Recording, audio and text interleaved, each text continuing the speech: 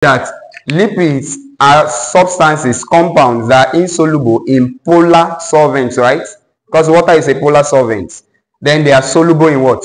Non-polar solvents, like what? Benzene, ether, and what? Chloroform.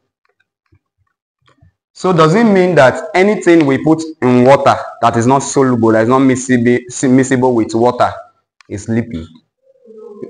So are other things that are not that, that are insoluble in water but are not lipids. All right. So generally, that is the general definition of lipids.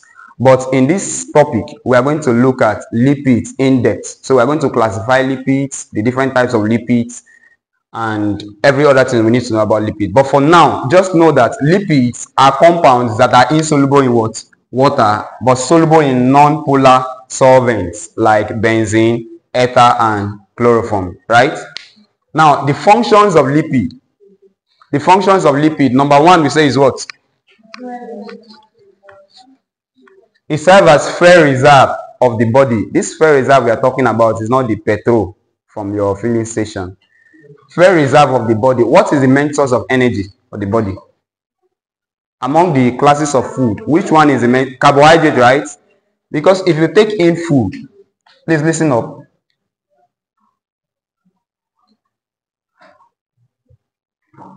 Let's assume this is my sorry, this is your intestine because my own cannot be like this. All right, so let's assume this is your intestine.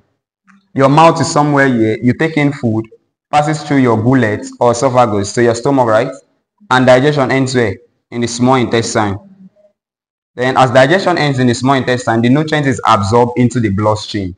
Good. Now, if it is carbohydrates, the end product of carbohydrate digestion, which is monosaccharides, will be absorbed into your blood, right?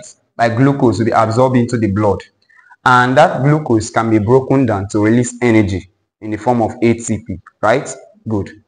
But now, if you don't have carbohydrates in your body, if there is no carbohydrates, will you die immediately? You not die, right?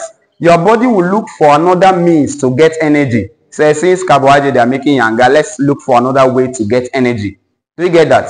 And that is when they will go to fats, lipids, and they will now break down fats into smaller, smaller units to release energy. We'll look at the steps in breaking down the fats to release energy. But for now, just know that fats, they serve as fuel reserve. They are stored just in case carbohydrates is not there to give us energy. We'll now go and source for fats, right? To get energy. Do you understand that? So fats, lipids, serve as fuel reserve of the body. That is storage form of energy for the body. They, they don't serve as immediate use. You know, the brain depends mainly on glucose, right? The brain cannot get energy from lipids. Do you know that? Even at that, there are some parts of the body that cannot get energy from lipids. Something like the brain, erythrocyte, red blood cells, they must get energy from glucose. But generally, lipids serve as what? For reserve for the body. Please don't cram. Understand so you can give them anyone they want. The second one, they, they, they said the second one is what? Structural components of what? Cell membrane. Now the lipid, lipids serve as structural components of cell membrane. As you're sitting down here, are you eukaryotic or you're prokaryotic? Sp speak for yourself, please. You're what? Yeah, eukaryotic, right? Good. Are you unicellular or multicellular? multicellular? You are multicellular. Good. Means you have cells all over, right? Good. Now let's pick one of the cells. You know, this course, uh, the cell is a topic on its own. We are going to treat that. But for now, let's look at this.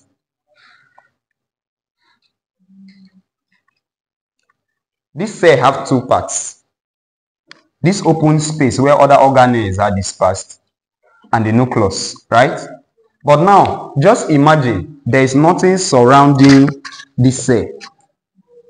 You just be sitting there one day and your mitochondria is coming out, your endoplasmic reticulum is coming out because there's nothing like a fence surrounding it. Now, this thing, this thing that serves as a fence surrounding it is called the what? Cell membrane, right? Cell membrane, or you call it the plasma membrane. We'll look at it in details when we get to that topic. Now, this cell membrane regulates what comes in or goes out of the cell. Do you get that? it controls what is coming in or what is going out of the cell. Now, the cell membrane looks like this.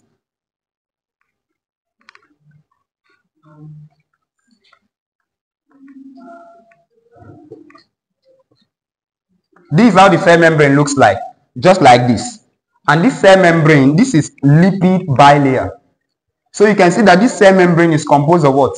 Lipids, right? So the lipid here serve as the structural component of this cell membrane. That's what we are saying here. That lipids serve as structural components of the cell membrane. That's one function of lipid. So just imagine you without lipid. It means there's no cell. Because plant cells, they have cell membrane. Animal cells also have cell membrane. And lipid is a major component of the cell membrane. So if cell membrane is not there, uh, where is the cell? Do we get that? So another function of lipid is structural components of cell membrane. Please pay attention and ask questions where you don't understand because I'll ask you questions and I'll point. All right, so the next one is absorption of what? Are we together? Absorption of what? Absorption of fat-soluble vitamins.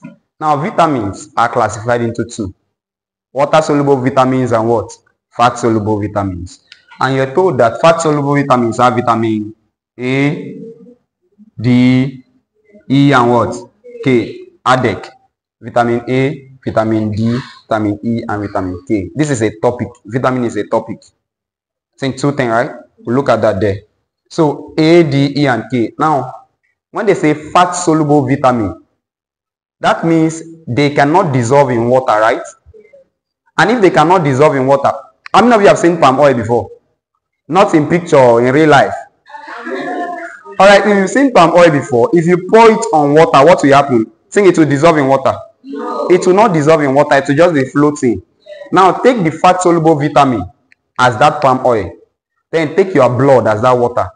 Fat soluble vitamins cannot dissolve in the blood. They will just be floating there. So they cannot be transported.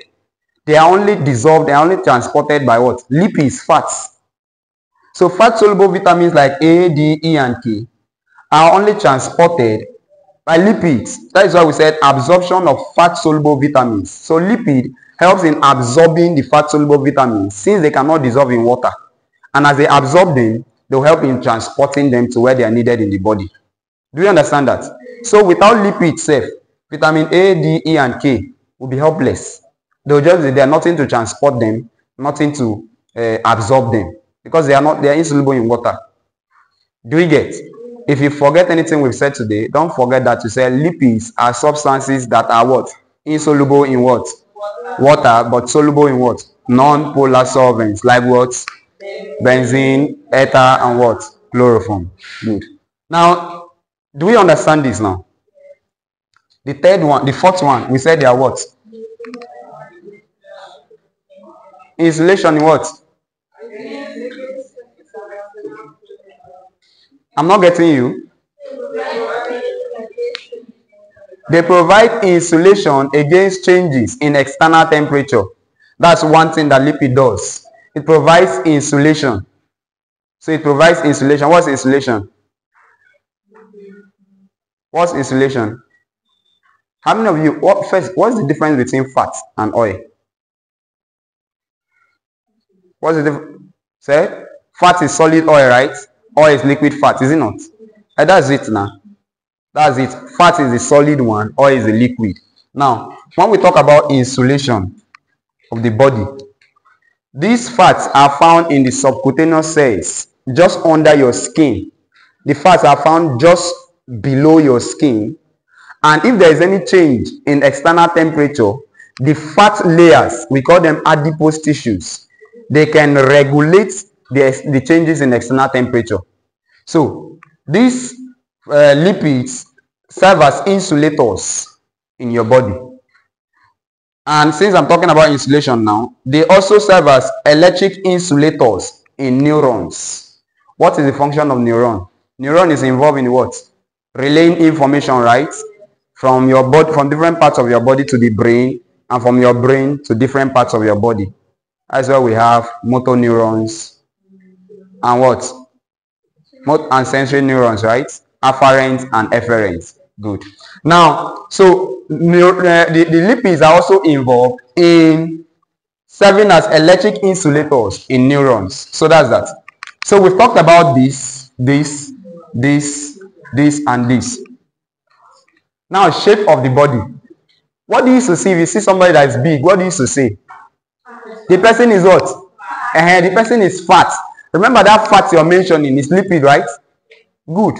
So it gives shape. Lipid, one function of lipid, it gives what? Shape to the body. So that's thing you're seeing is just fat, lipid.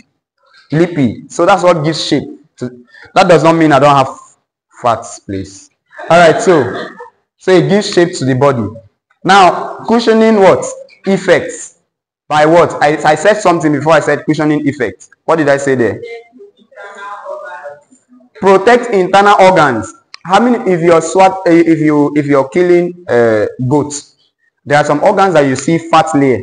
In fact if you are going to buy meat say give me fat suya you say give me fat.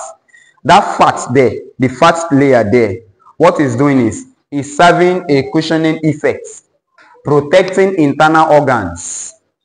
So it's it surrounds some internal organs protecting them from harm from external harm that's cushioning effect. Then the seventh one we say it does what? Improve taste and palatability of food. How many of you cook soup without oil? Like your normal soup without oil. Or you cook rice or beans without oil. Remember the oil we are talking about is lipid, right? The fat we are talking about is lipid.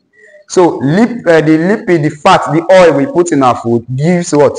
Taste and palatability makes it palatable makes it if in fact some of you you are so selective that if the oil is not you are not really seeing the the red the redness of the food you say no you not eat. So it improves the taste and palatability of food. But have you ever asked yourself how is lipid able to do that? How is it able to improve the taste of food? You don't know you only to eat. Eh all right, so any questions so far from the functions, from the meaning of lipids and the functions of lipids? Any questions so far? Before I ask mine. Yes.